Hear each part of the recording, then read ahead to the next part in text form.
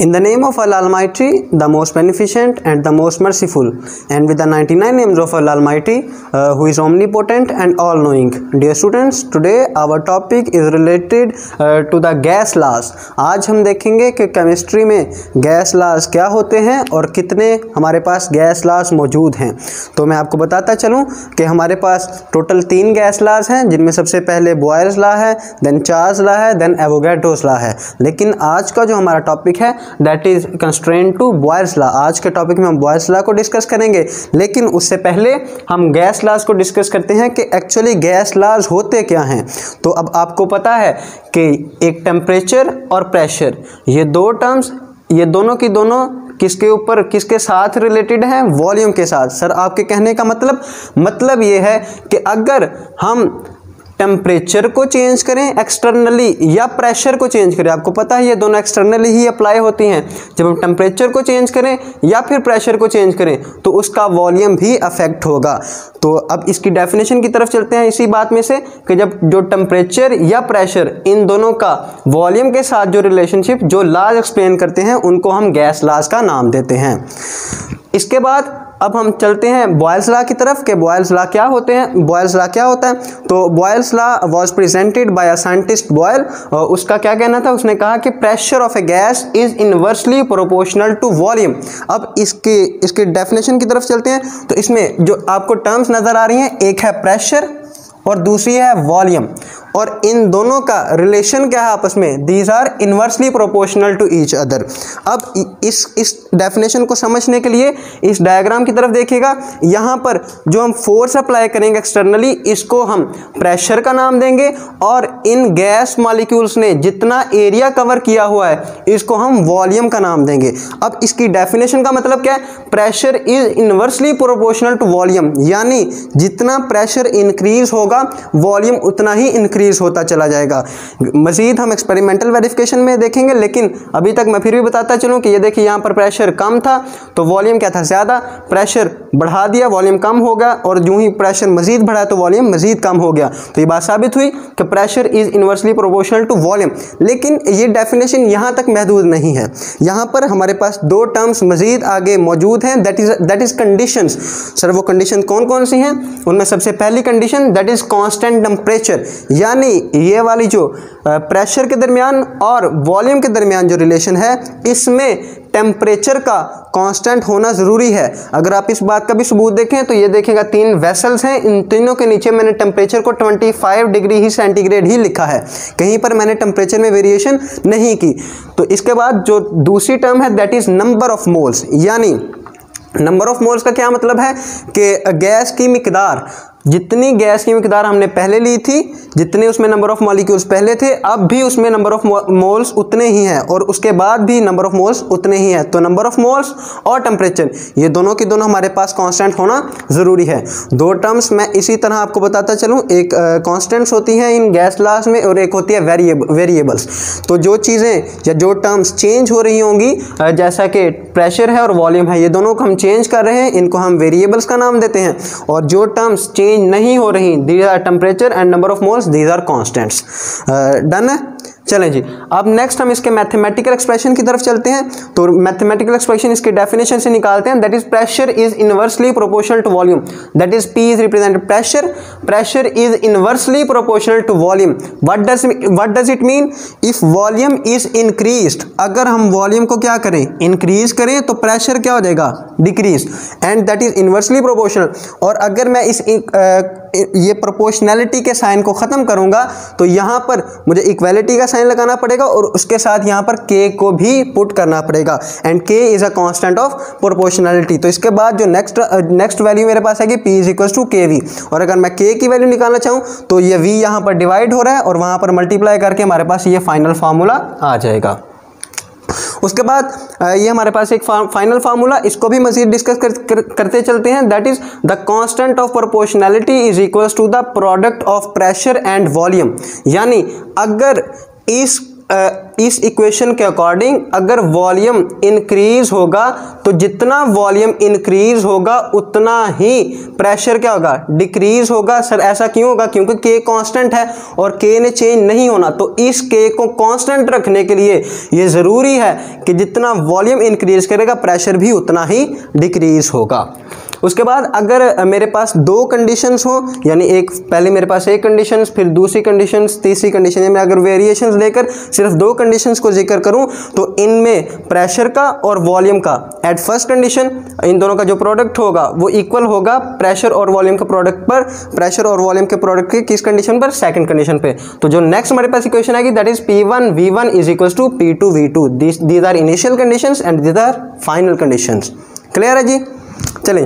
अब नेक्स्ट हम इसकी एक्सपेरिमेंटल वेरिफिकेशन की तरफ़ चलते हैं कि सर ये बॉयल्स ने, ये जो बॉयल्स ला पेश किया ये हम ऐसे तो नहीं मानेंगे, ज़ाहिर सी बात है इसके पीछे उसने काफ़ी ज़्यादा सबूत भी दिए होंगे दलीलें भी दी होंगी तो उनमें से जो उसने एक्सपेरिमेंटली हमें जो प्रूव करके दिखाया वेरीफाई करके दिखाया, उसके उसकी तरफ़ हम चलते हैं कि उसने क्या किया। उसने क्या किया? सबसे पहले तीन कंटेनर्स लिए जिनके ऊपर डिफरेंट प्रेशर अप्लाई किए हुए हैं और इन तीनों ने मुख्तलिफ़ वॉल्यूम भी ऑक्यूपाई किया हुआ है। सबसे पहला कंटेनर, इसके ऊपर हमने टू एटीएम प्रेशर अप्लाई किया हुआ है और इसका जो वॉल्यूम है that that it occupied is one decimetre cube and the temperature is 25 degree centigrade temperature 25 degree centigrade है प्रेशर टू एटीएम है और वॉल्यूम वन डेसीमीटर क्यूब है।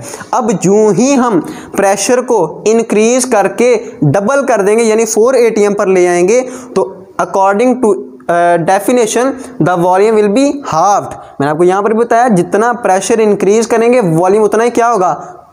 हाफ़ हो जाएगा, यानी डिक्रीज हो जाएगा। अब यहाँ पर प्रेशर को डबल किया टू से फोर कर दिया तो वॉल्यूम भी क्या हो जाएगा? हाफ़ डेसीमीटर क्यूब हो जाएगा। इसी तरह से टेम्परेचर फिर भी कांस्टेंट है। नेक्स्ट वेसल में हमने क्या किया?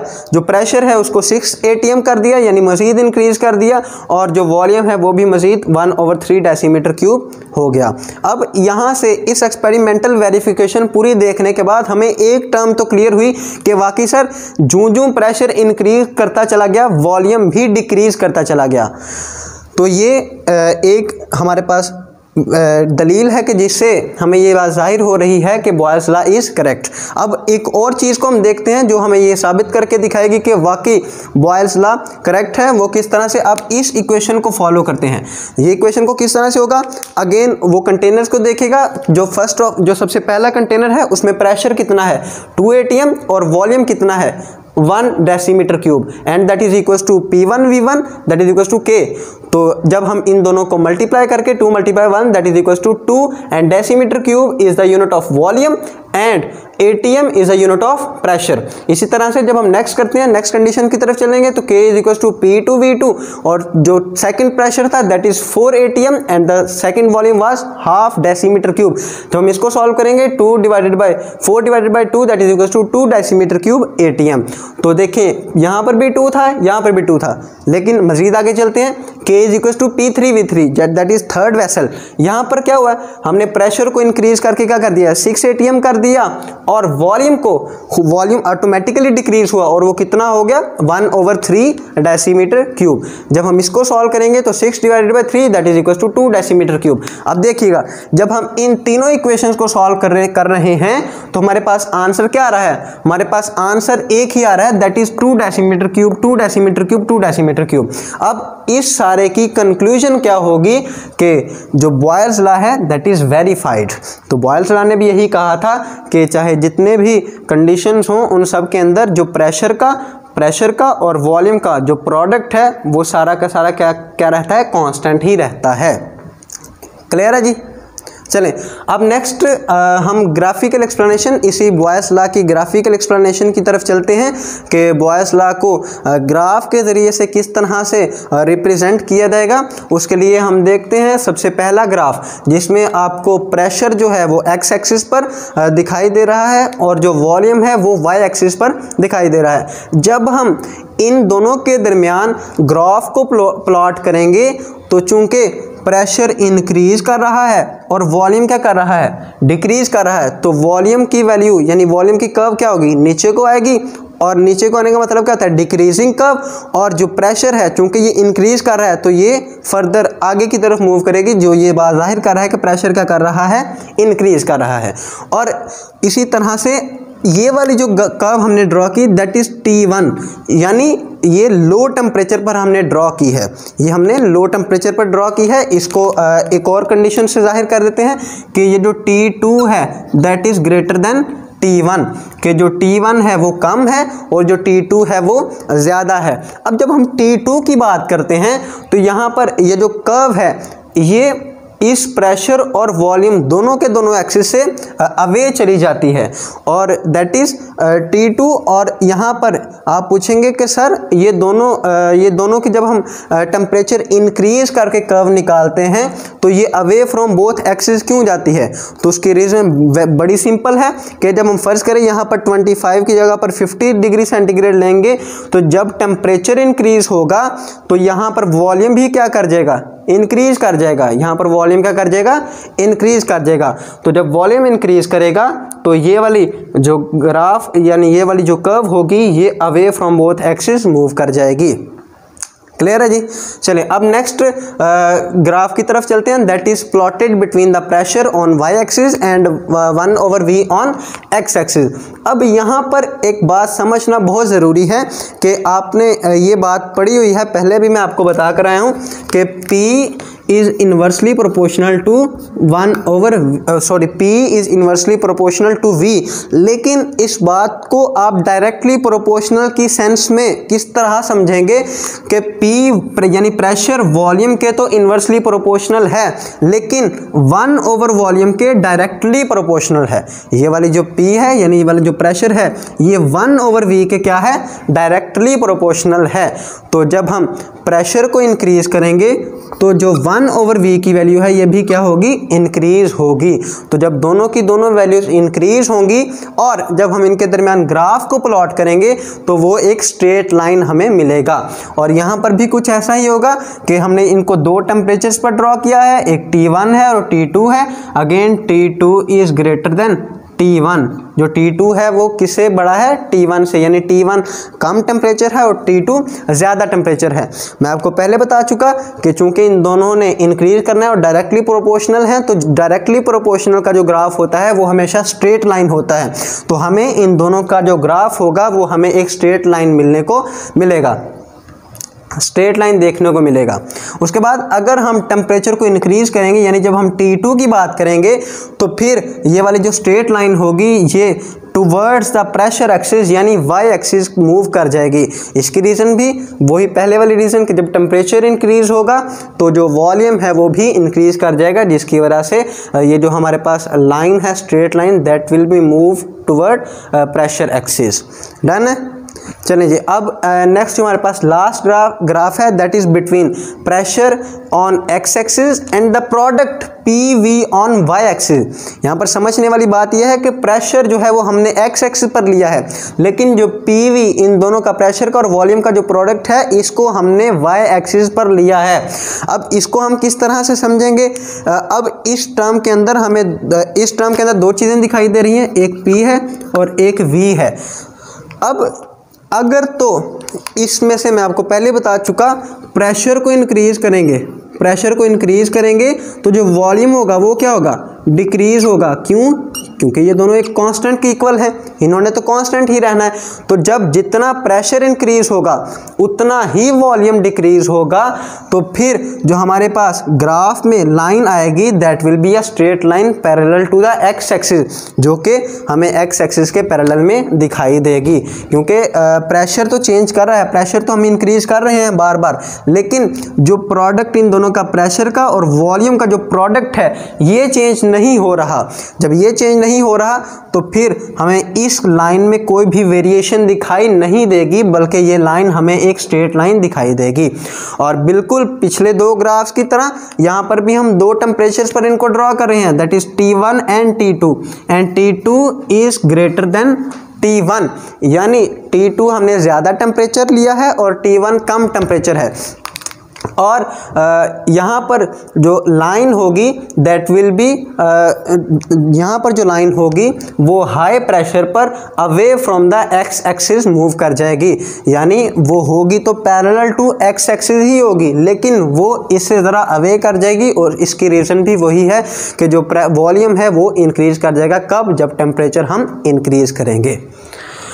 उसके बाद आ, हम कुछ टर्म्स को डिस्कस कर लेते हैं जो मेरा ख्याल मुझे यहीं पर डिस्कस कर लेने चाहिए थे जब हमने पहला ग्राफ डिस्कस कर लिया था लेकिन फिर भी मैं आपको बताता चलूँ कि आइसोथर्म क्या होती हैं आइसो बार क्या होती है आइसो कर्व क्या होती है।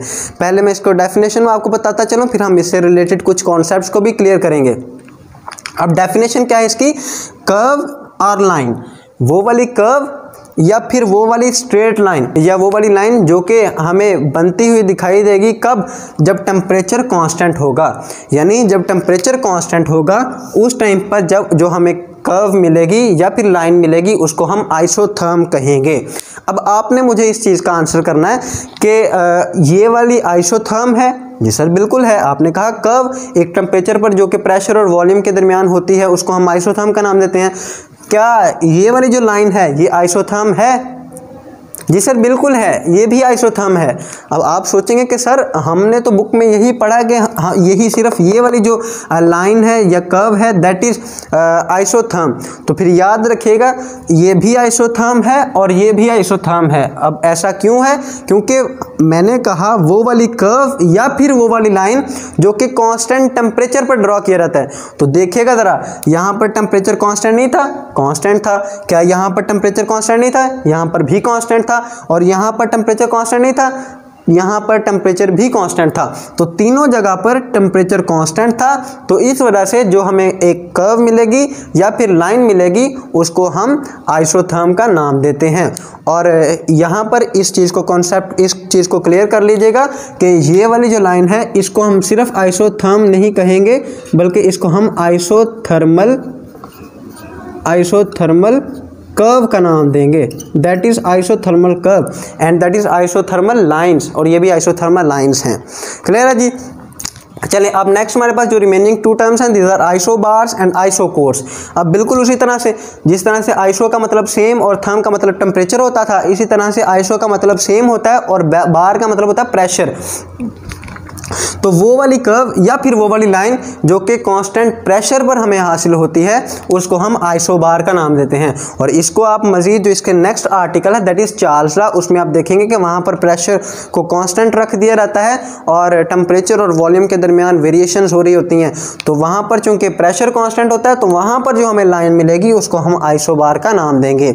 और the last term is isochore और ये वो वाली लाइन है या फिर वो वाली कर्व है, जो कि हमें हासिल होती है कब? जब जब वॉल्यूम क्या होगा, कांस्टेंट होगा, जो रिमेनिंग कंडीशंस हैं, वो वेरी कर रही होंगी। So that was all about from my side मैं आपको, मैं फिर से एक दफ़ा रिवाइज करता चलूँ कि हमने बॉयस लॉ को डिस्कस किया फिर उसकी मैथमेटिकल एक्सप्रेशन को डिस्कस किया, उसको एक्सपेरिमेंटली प्रूव किया हमने फिर देन ग्राफिकल एक्सप्लेनेशन उसकी देखी और कुछ टर्म्स को डिस्कस किया। तो थैंक यू सो मच अल्लाह हाफिज़।